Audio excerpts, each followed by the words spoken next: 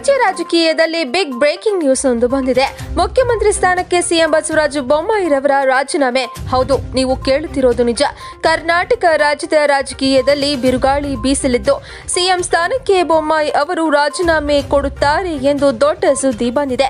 ಈ ಹಿಂದೆ ಆಗಸ್ಟ್ ತಿಂಗಳಿನಲ್ಲಿಯೇ ಮಾಜಿ ಸಿಎಂ ಯಡಿಯೂರಪ್ಪ ಅವರು ಸಿಎಂ ಸ್ಥಾನಕ್ಕೆ ರಾಜೀನಾಮೆ ನೀಡಿದ ಬಳಿಕ ಬಸವರಾಜ ಬೊಮ್ಮಾಯಿ ಅವರು ಅಧಿಕಾರವನ್ನು ಸ್ವೀಕರಿಸಿದರು.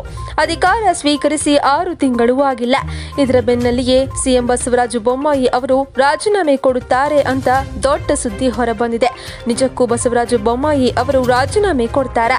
ಹಾಗಾದ್ರೆ ಮುಂದಿನ ಸಿಎಂ ಯಾರಾಗ್ತಾರೆ? ಈ ವಿಡಿಯೋದಲ್ಲಿ ನೋಡೋಣ ಬನ್ನಿ. ಸಿಎಂ ಬಸವರಾಜ ಬೊಮ್ಮಾಯಿ ಅವರು ತಮ್ಮ ಸಿಎಂ ಸ್ಥಾನಕ್ಕೆ ರಾಜೀನಾಮೆ ಕೊಡುತ್ತಿರುವುದು ಬಹುತೇಕ ಖಚಿತ ಎಂದು ಹೇಳಲಾಗ್ತಾ ಇದ್ದು, ಆದ್ರೆ ಈ ಬಾರಿ ಹೈಕಮಾಂಡ್ ಆಗಲಿ ಅಥವಾ ಬಿಜೆಪಿಯ ಬೇರೆ ನಾಯಕರುಗಳು ಆಗಲಿ ರಾಜೀನಾಮೆ ಕೊಡಿಸ್ತಾ ಇಲ್ಲ.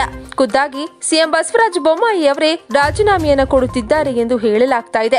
ರಾಜೀನಾಮೆಗೆ ಕಾರಣ ತಿಳಿದು ಬಂದಿದ್ದು, ಬಸವರಾಜ ಬೊಮ್ಮಾಯಿ ಅವರಿಗೆ ಮಂಡಿ ನೋವು ಕಾಣಿಸಿಕೊಂಡ ಕಾರಣ ಚಿಕಿತ್ಸೆಗಾಗಿ ಅವರು ಅಮೆರಿಕಾಗೆ ಹೋಗುತ್ತಿದ್ದಾರಂತೆ. ಅಲ್ಲಿನ ವೈದ್ಯರ ಜೊತೆ ಮಾತನಾಡಿ ಈಗಾಗಲೇ ಸಿಎಂ ಬಸವರಾಜ ಬೊಮ್ಮಾಯಿ ಅವರು ಅಮೆರಿಕಾಗೆ ತೆರಳಲಿದ್ದಾರೆ.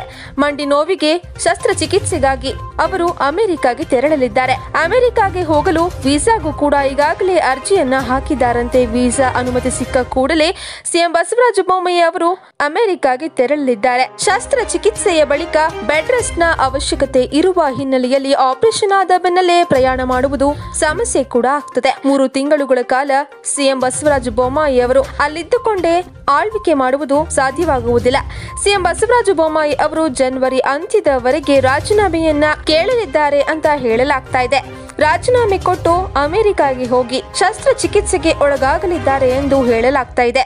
ಒಟ್ಟಾರೆಯಾಗಿ ಮುಂದಿನ ದಿನಗಳಲ್ಲಿ ರಾಜಕೀಯ ಚಟುವಟಿಕೆಯಲ್ಲಿ ಭಾರಿ ಬದಲಾವಣೆಯಾಗಲಿದೆ.